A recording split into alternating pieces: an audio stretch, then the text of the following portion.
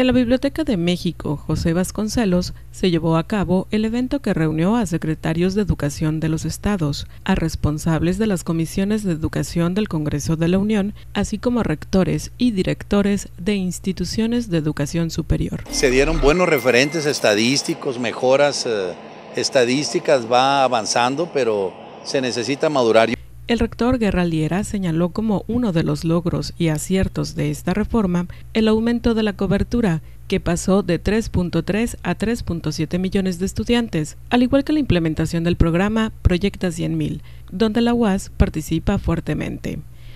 indicó que llama la atención el discurso del titular de la SEP, quien refirió que el sindicato de maestros debe dar un salto cualitativo no solo en el aspecto gremial, sino asumir la cultura de la evaluación y habilitación para cumplir con una mayor calidad y compromiso.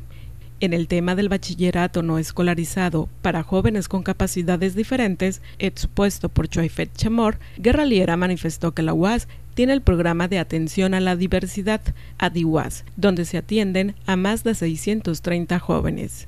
De igual forma, manifestó que en la preocupación de la reforma educativa por involucrar y tomar más en cuenta a los padres de familia en el proceso de la enseñanza, la Universidad Autónoma de Sinaloa tiene años llevando a cabo las reuniones con padres de familia en todas las unidades académicas.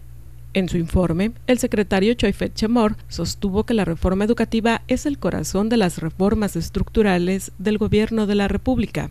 y ha entrado ya en la etapa de materialización al citar los avances en cobertura, la identificación de carencias, retos y problemas del sector educativo y el incremento del presupuesto. Lejos de ser una coyuntura, la reforma es un proyecto de largo aliento, pero también es un ejercicio que no olvida lo que somos ni de dónde venimos lo que resulta indispensable para saber a dónde vamos.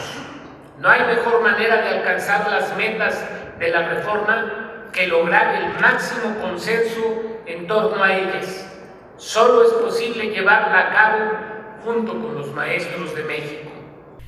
Con imágenes de Anel Labrada e información de Rocío Ibarra, Informativo UAS.